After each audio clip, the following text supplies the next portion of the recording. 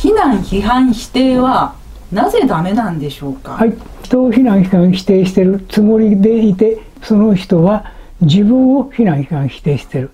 命は一つしかないから。全ては一つ。神の愛しかない。神のと言ったけど愛そのものって言ったらいいかな。愛の言葉そのものしかない。ということかな。それが全てだ。非難批判否定するとそれがそのまま自分に戻ってくるんでしょうか、うん、その通りでね。これは愛に向かって愛という存在に向かって非難批判否定していることになるので全部自分がそれを体験します。これはあの理想をはっきりさせるという形式のやり方がいい。あの宇宙っていうのは素晴らしい神仏あのややこしいので2つ言ってるんですけどね。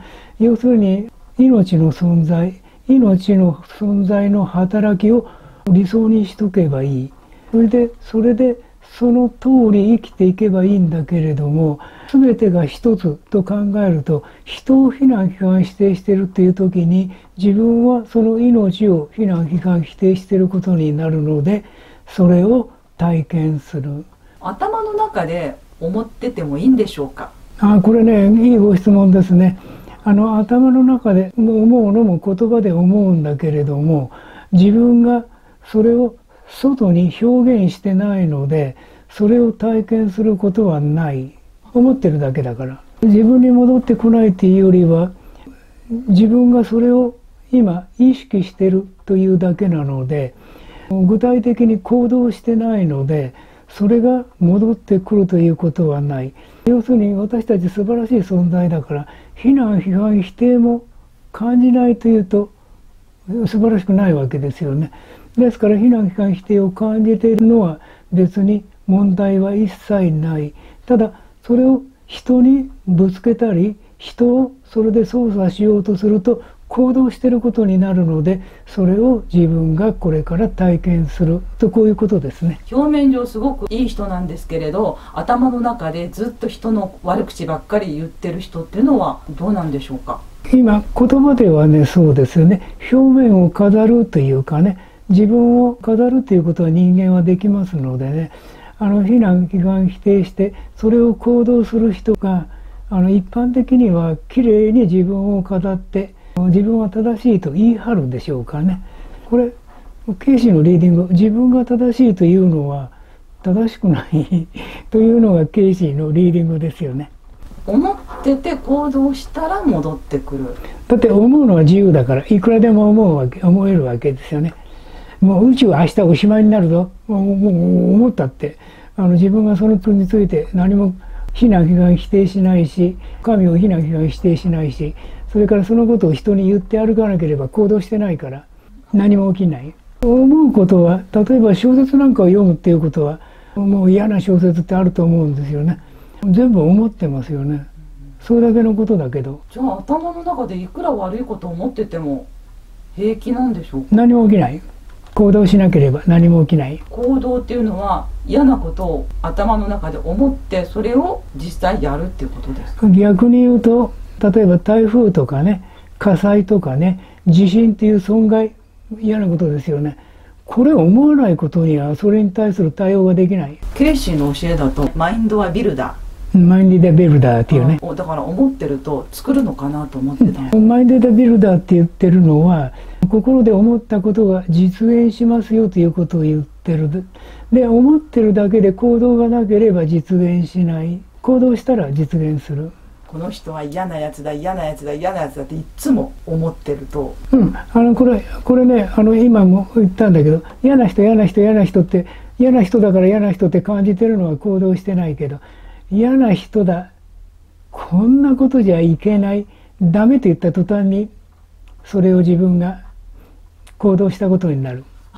それが非難批判否定だから。だから悪い人って言ってるのは非難批判してんじゃなくてこんな生き方をしてんの嫌だなと感じてるだけだからダメって言った途端にだからダメダメダメって言わない。私の言葉ね面白いね。でもこうするとこうなるよというのが私の提案なんですけどね。嫌な人を嫌だ嫌だって言ってるのはよくてこの人なんかダメな人だって言うとよくない。そうそうそうそうあのあの人ダメと言って人とにこれは言葉で言っても体がダメと思うからあの体が感じるから自分がそれを体験します。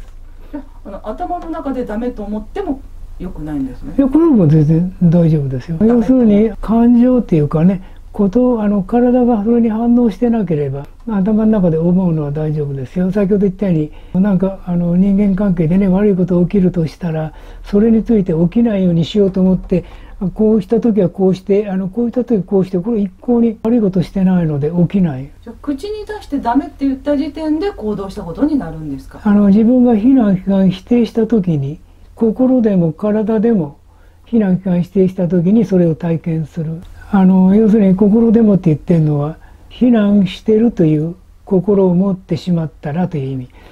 ただ相手が悪いことをしてるというのはあの全然戻ってこない。戻ってこないっていうか自分は選択してないから。あじゃあこんなことをするあいつは悪いやつだダメなやつなんだと思うと良くないんですね、うん、あの今の言葉がねものすごくきつい。それを自分が全部体験する、根性で体験しなくても来世で体験する。頭の中で思うのは一向に構わない。私もだから今も頭の中で思って喋ってたんですけどね。それをほら感じてしまうとこういうことをするのは嫌だよねって言ってこれは戻ってこない、まあ、嫌なことあんなことしてこんなことしてダメじゃないのって言った途端に戻ってくる。こういう表現をした方がいい。あの福田孝則神と一緒に生活してるので神様とお話しながら今も言ってるから戻ってこない。ただ神から離れて自分だけの立場になってしまうと戻ってくる。頭の中で避難したらあの行動してないから。それはその情景をね考えて選択してるだけだから。何も起きない。本当にもう嫌でもあーっとななって、肉体で感じてる、うんうん、まああの今ねこの画面に出なかったけど質問者がねかなりきつい格好をしたの。こうやってね。そしたらこれ戻ってくる頭の中で考えてる分には戻ってこない。体でそれを感じるとその感じを蓄積されてあの自分が体験する。